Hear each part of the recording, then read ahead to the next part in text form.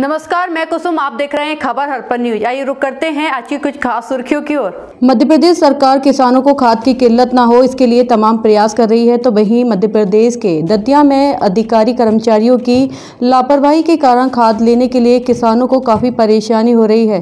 किसान खाद लेने के लिए मंडी में रात से ही आकर अपना डेरा जमा लेते हैं। दूसरे दिन घंटों कतार में खड़े होना पड़ रहा है। दतिया कृषि उपज मंडी में तमाम अव्यवस्थाओं के रहते आज जमकर बवाल हुआ किसानों ने अधिकारी कर्मचारियों के लापरवाह रवैये को लेकर दतिया कलेक्टर संजय कुमार से शिकायत की।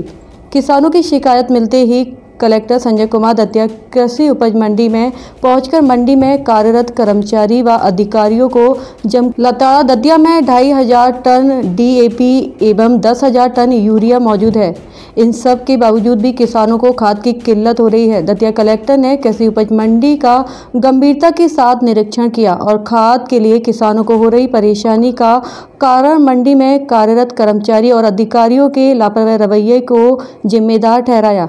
दतिया कलेक्टर ने डीएमओ सहित डीडी को नोटिस देने की बात कही। का जो वितरण चल रहा है उसमें थोड़ी अव्यवस्था की शिकायतें आ रही थी। यद्यपि कि ज़िले में खाद की कोई कमी नहीं है। अभी हमारे पास तकरीबन ढाई हज़ार टन डीएपी और तकरीबन दस हज़ार टन से ज़्यादा यूरिया का भंडारण है। जो अगले दस दिनों, पंद्रह दिनों के लिए सफिशिएंट है। लेकिन फिर भी थोड़ा वितरण की व्यवस्था की दिक्कतों के कारण अव्यवस्था उत्पन्न हो रही थी।